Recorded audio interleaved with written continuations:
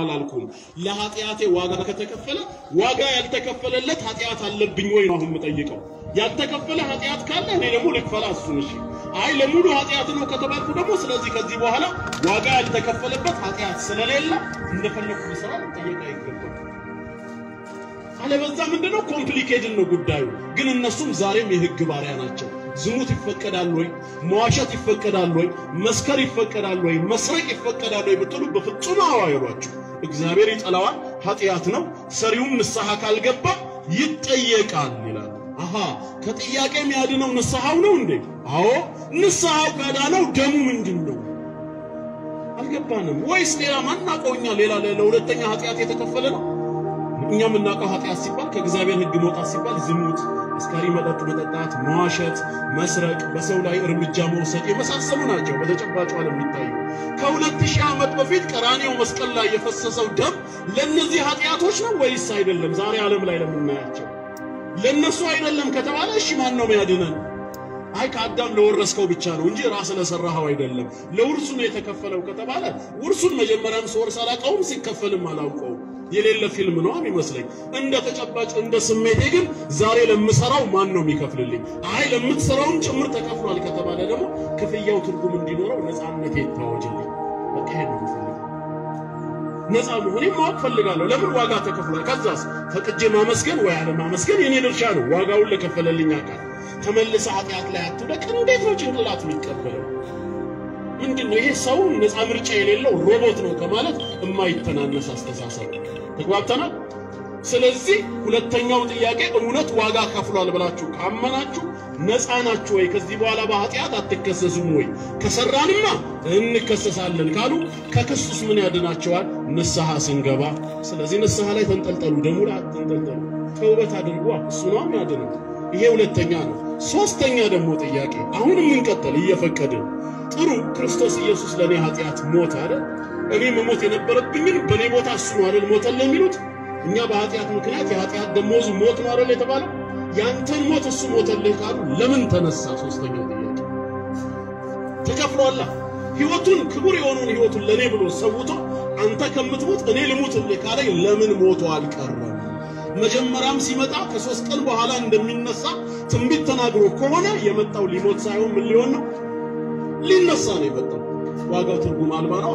ትርጉም ያለው ክፍያ ምንድን ነው ከተባለ የከፈለውን ነገር ተመልሶ ባይቀበለው ነው።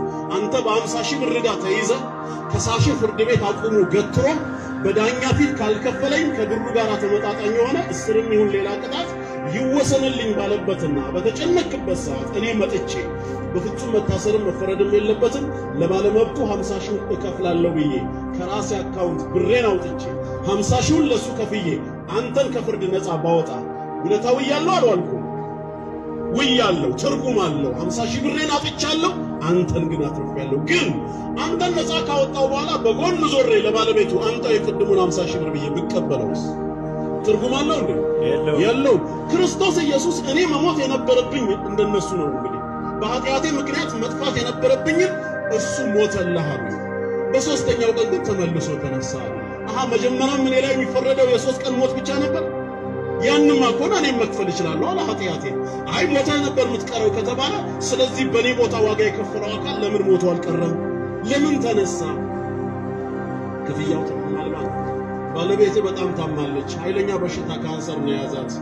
እሷ እንድትድን አንተ አንድ ወር መሞት አለብህ ቢሉኝስ? እንደው ምሳሌው ዋናው ከወር በኋላ ሰላሳ አንደኛው ቀን መነሳቴን ዋስትና ስጡኝ እንጂ ሁለት ወርም እሞታለሁ ነበር ምለው ሶስት ቀን ሳይሆን ለምን ዋናው ለመነሳቴ እንደ እንቅልፍ አየዋለሁ። ወሩን ሁለት መቶ በዛው ሞተ ትቀራለህ። ባለቤትህ ግን ትኑርልህ ብባልስ? እዚህ ጋር ነው ትልቅ ፈተና። የኔ ህይወት ይበልጣል ወይስ የሷ ህይወት? የእሷን ያስበለጥኩ ጊዜ በቃ ግድ የለም ትኑር ብዬ ልወስን እችላለሁ። ትክክለኛ ውለታም ይሄ ነው። አለበዛስ በፍጹም ራሷ ትሙት ልል እችላለሁ። የኔን ሞት የሞተልኝ ኃጢአቴ ደሙን ያፈሰሰልኝ አካል ካለ የአካል ላንተ ሞቱ ቀርቷል ቢባል ዋጋ ይኖረው በሶስተኛው ቀን ከተነሳ ምንድን ነው ክፍያው? እስቲ የሀገር ወታደሮችን ተመልከቱ። ሀገራችን በጠላት ልትወረር ነው በተባለ ጊዜ እነሱ ሲዘምቱ ምንድን ብለው ነው የሚዘምቱት? አንድ ቀን ተመልሰን እንመጣለን አለ። ድል ከቀናቸው ከድል ጋራ ነው። ካልሆነስ እኛ እንሞት፣ በእኛ ሞት ግን ህዝብ ነፃነቱን ይቀዳጅና በሰላም ይኖር ዋጋ ማለት ይሄ ተመልሰን እንመጣለን ብለው አይሄዱምና ማለት ነው። በሶስተኛው ቀን ተነሳ። የመጣው ሊነሳ ነው ወይስ ሞቶ ሊቀር? አይ መልሳለን ሄደዋል። ምን የሞተው ለኃጢአት ሲሆን የተነሳው ደግሞ ቅያማ መኖሩንም በዛው ሊነገር ነው። ሰው ሞቶ አልቀረም፣ ሞቶ እንደሚነሳ የትንሣኤ ብስራት ሊሆን ነው ይላሉ። አሃ ከዛ በፊት አይታወቅም ነበር። ካልታወቀ አዲስ እምነት መሆን ነው በቅያማ ማመን። እኛ ግን ምናምነው ከአደም ዘመን ጀምሮ የነበረ እምነት ነው። ሙታን ከመቃብር ዓለም እንደሚቀሰቀሱ ማለት ነው። ይሄ ትርጉም አልባ ነው። ስለዚህ ለዚህ ጥያቄ ምንድን ነው የእናንተ መልስ ነው? ትድናለህ ብሎ ከመጣ አንተም ይሄን ጥያቄ መጠየቅ አለብህ። ጥሩ እሺ፣ በእናንተ በእስልምና እንዴት ነው የሚዳነው?